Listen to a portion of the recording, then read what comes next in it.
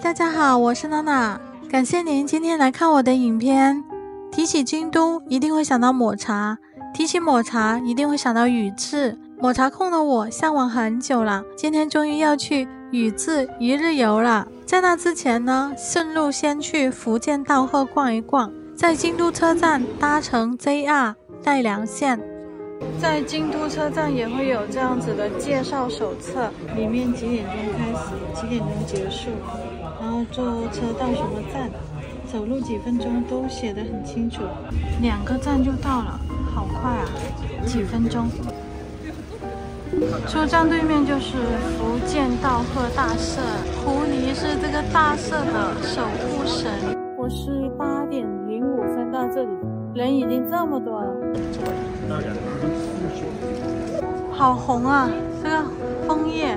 福建道贺大社是京都最知名的象征之一，这里是全日本约三万间道贺神社的总本社。狐狸是道贺大神的神使，嘴里叼着玉，象征福建道贺大社的灵德，德高望重，深不可测。嘴里叼着钥匙的，象征着粮仓的钥匙。麦穗象征着丰收，转钟象征着智慧。这个神社已经有一千三百多年，是京都最有代表、最古老的神社之一。这里祭祀着商业及农业之神，保佑人民生活丰饶、商业兴盛，一年中都非常有人气。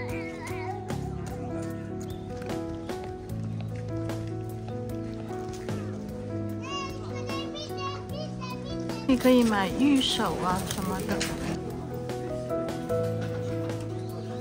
一千。早上边八点多，人就这么多。最有名的就是千本鸟居了，鸟居数量其实超过一万座。从鸟居入口处一路延绵至道贺山上，左手边这里排队照相。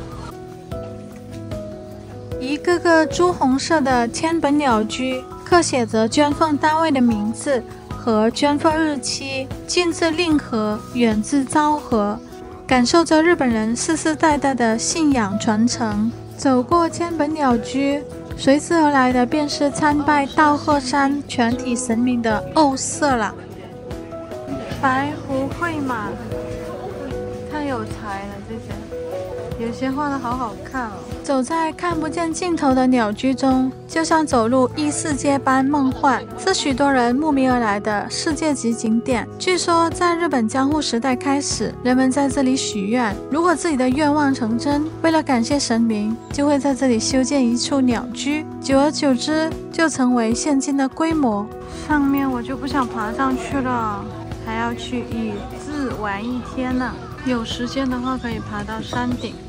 如果说还有其他行程的话，我觉得到这里就差不多了，因为上面的鸟区吧也是差不多的。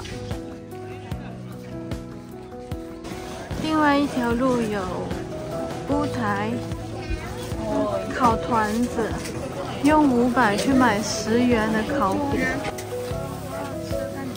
奇高啊，好可爱啊！从这里出发，所有的车都会停在宇治站。十几分钟就到宇治站，好小的一个站，好有特色。对面就是伊藤久右卫门，这个上次有吃过，确实很美，拍照很美，很好看。但是其实它的味道我觉得也没那么好吃。中村藤吉本店是这里最火、最有人气的，它还有一个分店，等一下我们去分店那里吃。它是靠在河边的，看的风景很美。现在十点多就已经在排队了。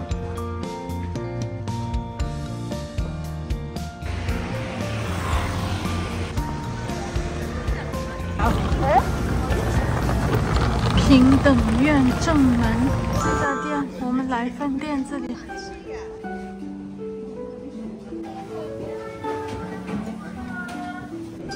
都在排队等靠窗的位置。靠窗的确实很惬意。排了十几分钟，终于等到靠窗的位置了。如果是两个人的话，一个人点餐，一个人先行占位置是最好的。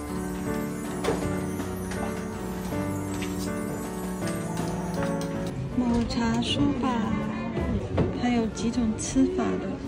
绿色的荞麦面看上去清新有趣，入口时顺滑清爽，但是味道跟普通的荞麦面差不多。不会有特别的抹茶味。第二种口味，挤上柑橘汁，微酸让口感得到一个提升，更加清爽。第三种，加上淡抹茶油，抹茶味会变浓郁一些，口感更丰富。特别喜欢最后一种吃法，招牌甜点限定抹茶巴菲。看着就好吃，里面馅料很丰富。最上面是抹茶奶油，下面有抹茶蛋糕、抹茶冻、玄米团子、栗子、树莓、抹茶冰淇淋等，这么多好吃的怼到一块，能不好吃吗？抹茶味超浓郁，甜而不腻，超推荐哦！虽然有点小贵。但还是值得一试的。还点了一个抹茶冰淇淋，上面放了团子和红豆。团子糯叽叽的，红豆有点甜，下面有抹茶冻，也很好吃哦。你感觉好像吃到有点腻了，就来一杯茶。吃饱喝足，去下一站。是一条日本文化气息浓厚的商业街，街道两旁有很多抹茶料理店。可以在这里吃个午餐，或者是买伴手礼哦。哎，我觉得这个饺子看起来不错啊。嗯，我闻到了很浓的茶的香味，超级巧。上林等店，在这里可以体验制作茶。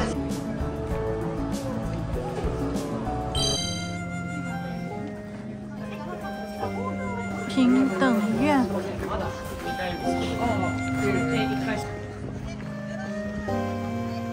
日本的十元硬币后背的这栋建筑物就是平等院凤凰堂，世界文化遗产。还有日本的一万日币的上面的这个凤凰，凤凰就是上面的屋顶的这个凤凰。平等院被列为世界文化遗产，建于平安时代，与平安贵族理想的极乐净土为参照而建造的。平等院最著名的是正殿，左右对称，看上去就像是展翅的凤凰，故又被称为凤凰堂。其实它是由藤原赖通继承父亲的别墅而改建成的佛寺，原本是别墅。这个造景也是日本人西方极乐世界想象中的模样。我们现在仿佛就是来到了日本人心中的西方极乐世界，好可爱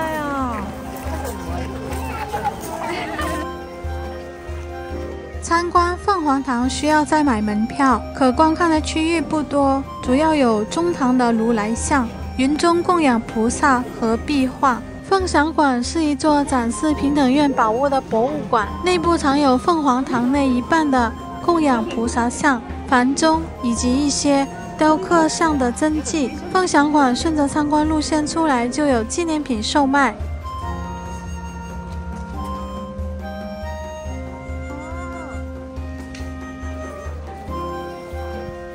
走去下一站，平等院旁边有一家星巴克咖啡。绿植环绕其中，犹如庭院一般。小枯山水在门口，具有浓浓的日式庭院风情。店内不大，但很明亮。限定的保温杯、水杯。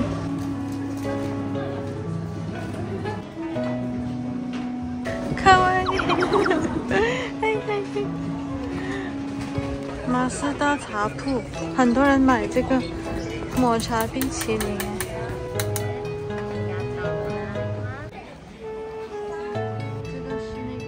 桥头立有“源氏物语”作者子四部的塑像，横跨东西两岸的宇治桥是日本三大古桥之一。四川风景好美哦。过了桥就按照它这个标识走，去宇治上神社。去宇治上神社途经宇治神社，小小的一家。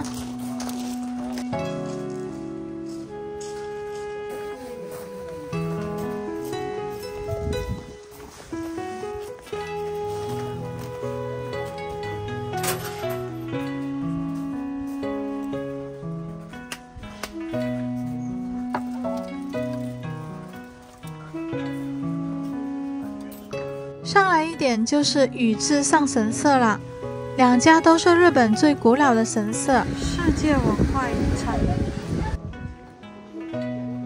正门一进来就正对拜殿，拜殿前面有两座青纱，分别代表阴与阳，传言是神降临的地方，可以去疾避凶的作用。神社也有贩卖小包装的纱，能让游客购买。兔子是这个神社的使者。传说屠道最良子有次迷路了，突然一只兔子出现，并不断的回头帮他引路，所以兔子便被视为宇治神社和宇治上神社的使者。同源泉是七大名泉之一，是宇治现存唯一的涌泉，还是活的那一种。首先先洗左手，再来洗右手，最后洗手柄。神社的本殿是日本最古老的神社建筑，被列为日本的国宝。宇治上神社祭奉的是应神天皇和两位皇太子。随放法钱放在上面。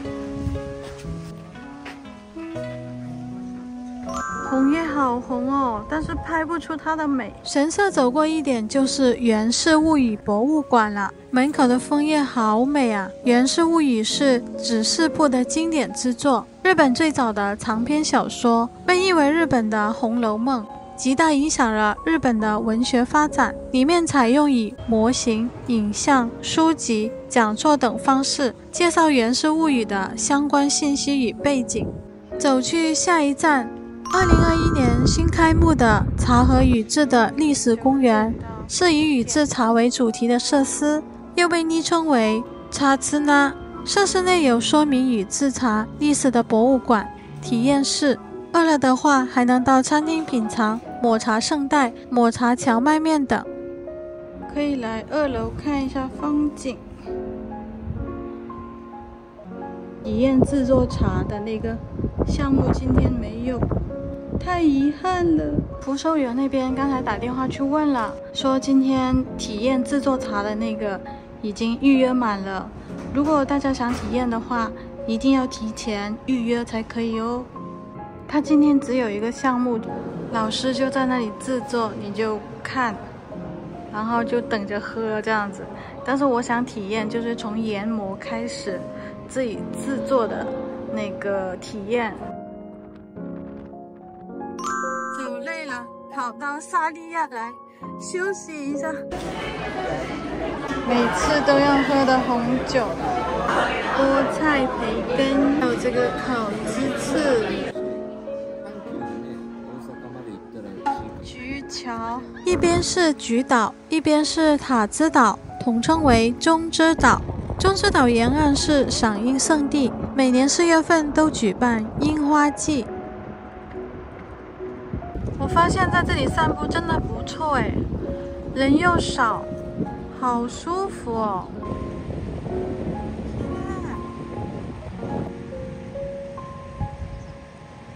我建议一天游，就是一天的话，你可以去到呃有名的重要的景点。如果是半天的话，时间太紧，可能玩的不够尽兴。想要深入玩的话，建议一天慢悠悠的，真的很舒服。宇治公园。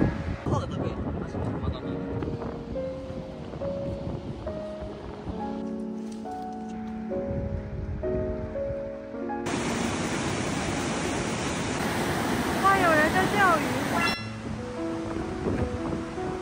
爬这个坡还是有点累的。其实本来是不太想来的，但看到门口的这枫叶景色，就知道来对了。